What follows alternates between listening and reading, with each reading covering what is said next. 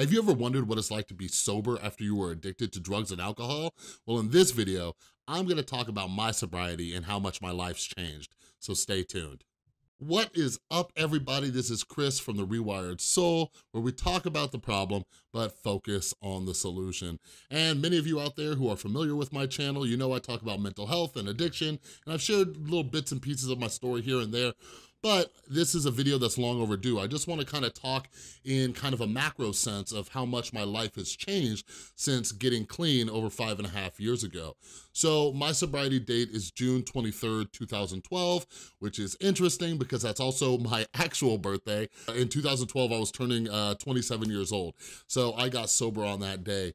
And when I, when I look at my life now, I, I can see such a huge change and it took a long time, it took a very, very long time to see significant changes.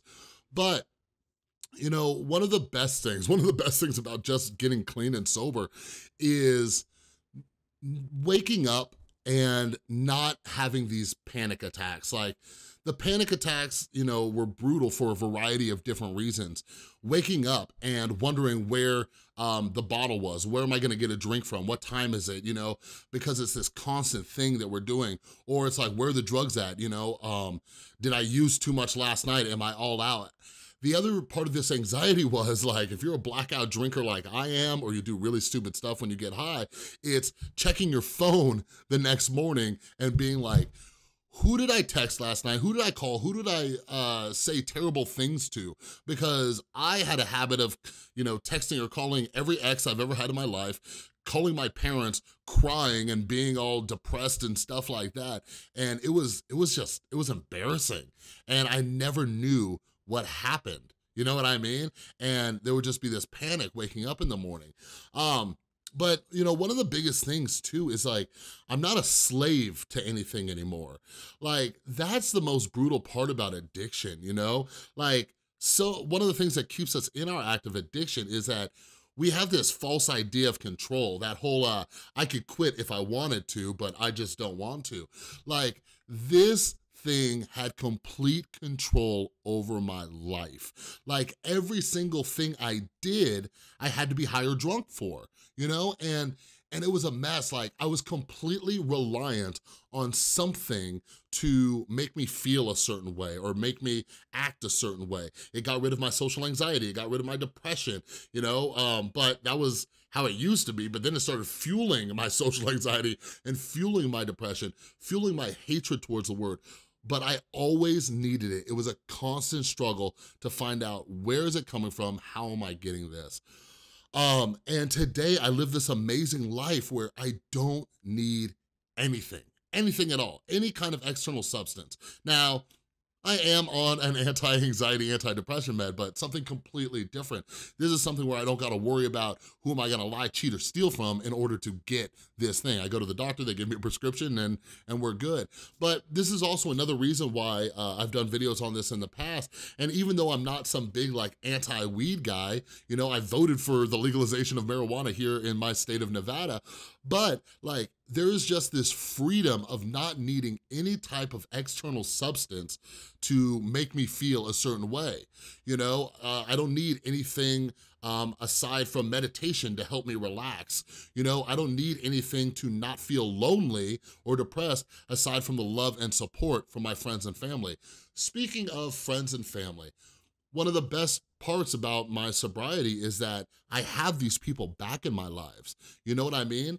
My son has a father. You know, my friends have a friend. My girlfriend has a boyfriend. My mom, my dad, they have their son back. My sister has her brother back. These are all people who came back into my life and they're, they're very supportive. But it's not even just about like they're back in my life and they invite me over to Christmas dinner and stuff like that, but they actually trust me now. You know what I mean? They're not questioning what I'm doing. Um, one of the greatest gifts that I could ever give my own mother is that she doesn't have to worry about getting a phone call like she did five and a half years ago. When I first got clean, I was laid up in the cardiac critical care unit here at a hospital in Vegas, and they called her and said, hey, you might wanna come down to Las Vegas because we don't think your son is gonna live tonight.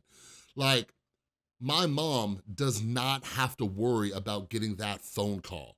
You know what I mean? And and that's that's probably the best gift I can give her aside from just, you know, my recovery. But other than that, it's it's a beautiful thing that I'm somebody, I'm somebody that my family can actually turn to now.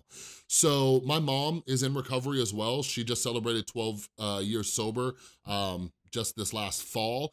And she can turn to me and we could talk recovery, you know? I lived this very selfish and self-centered life throughout my addiction and even before my addiction. I lived such a selfish life where it's like, oh, that's your problem. Don't call, don't be calling me about your problems. But like now my mom can can actually call me. And today, um, I was talking to my group about this at the treatment center I work at. Like, when my grandma passed away a couple years ago, like, my mom was able to call me and talk to me and I was able to walk her through it and be supportive for her. Like, that's something I couldn't do when I was still getting drunk or high. Um, speaking of my grandma passing away, like, my grandma was my number one. She was my number one. She was at the top of my list, like, when I got clean, I was like, if anything happens to my grandma, I'm gonna get high over it. Like, that's how I felt when I first got clean because I grew up, you know, my mom was an alcoholic. I had a family who I didn't feel like they really loved me or cared about me at all, but my grandma was always there. My grandma made me feel like I was the most important kid in the world. And, you know, even though my grandma passed away a couple years ago, the greatest gift that I could have given her was that she actually got to see her grandson be clean for, you know, a little over three years when she passed away. And like now I know that since she's gone, at least she got to see that. And man, it's difficult because I see a lot of people who keep relapsing or going in and out of their addiction and they're losing their loved ones and their loved one never got to see them clean and what they could have become. And part of the reason I'm even doing this video is to give you some hope that, that you can do this thing, right? But aside from that, I would say one of the best parts about my recovery is, is that I don't wanna die anymore. Like, I don't wanna die anymore. I wanna live, and that's why I try to live every day to my best ability. That's why I come here and I make these videos and stuff like that. I Time is my most valuable asset. We talk about it in the recovery community like um, we're living on borrowed time and I take that seriously every single day. Like um, the people who are close to me, like they, they know this about me, but my, my window for BS is very, very small. Like things that waste my time, waste my energy, I got, I, I don't even give time to them because life is so precious and I shouldn't even be alive today. But the the great thing that happened to me as a result of my recovery, and I will do another video about um, some of my first few months in recovery, but I didn't wanna live when I first got clean. Like, I was like, what's the point of even getting clean? I'm still depressed, I still wanna die, I don't have anything, right? And something happened where it clicked and I was like, wow, like, I don't wanna die anymore.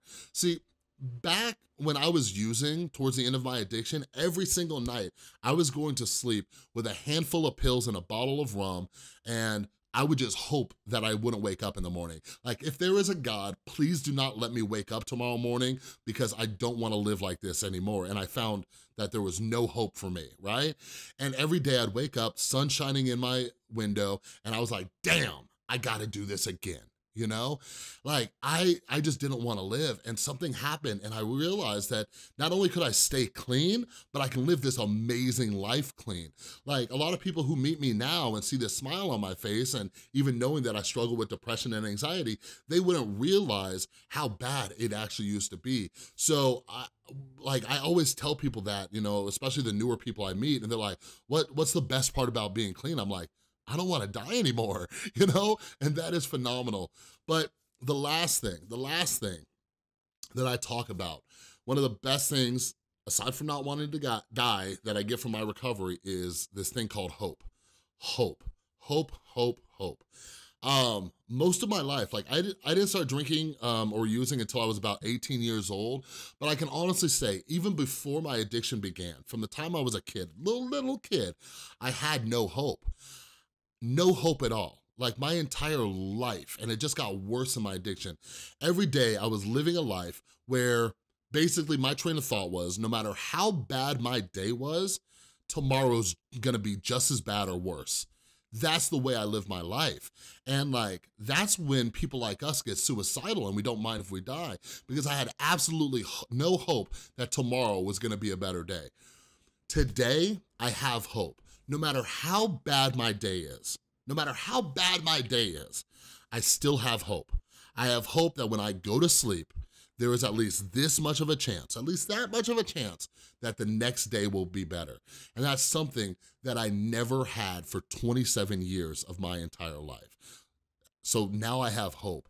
And, you know, shameless plug real quick, but that's actually why I titled my book, right here, that's why I titled it Hope, because like if I had to describe my sobriety in one word, it would just be hope. So if you want a copy of that book right there, um, it's up on Amazon. I think it's only like four or five bucks. Uh, it's an ebook. But um, anyways, anyways, I just wanted to share what it's like to um, be in sobriety um, after almost a decade of being in addiction. So I hope that this gave you some hope and, you know, leave comments down below. Let me hear about your experiences in recovery. If you're somebody who's struggling with addiction, leave a comment down below. If you know somebody who's struggling, leave a comment down below. No, screw that. If you know somebody who's struggling with addiction, please share this video with it. Share this video with that person to give them some hope and show them that it's possible to get better, all right?